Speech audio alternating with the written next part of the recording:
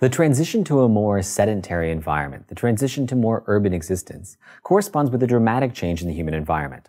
Suddenly humans are living in more close proximity with other humans. Since humans are now also storing food across seasons, we're also exposed to the pests that also take advantage of that food. Things like mice and rats and other kinds of rodents. So we've changed our environment dramatically. Also being sedentary and engaged in things like agriculture, we create new environments for other kinds of organisms. For example, the development of irrigation creates fantastic breeding areas for mosquitoes and breeding areas that are in close association where places where humans are working. Suddenly our exposure to things like malaria is increased dramatically by this transition to agriculture.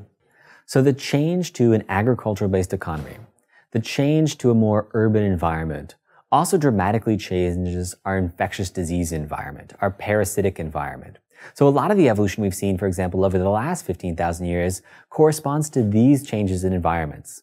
A movement for more, for example, mortality associated with things like trauma to mortality associated with things like infectious disease exposure. So some of the evolutionary changes that we've seen, some of the selection that we've seen in the genome corresponding to these changes have to do with these kinds of elements. Our increased exposure to parasites, our increased exposure to infectious diseases, the fact that we're living in close proximity with each other, maybe even selection related to increased sociality associated with that broad exposure, the broad density of exposure that we have to other kinds of humans. So this is another important change in the ongoing evolution of humans that we see even up to the present.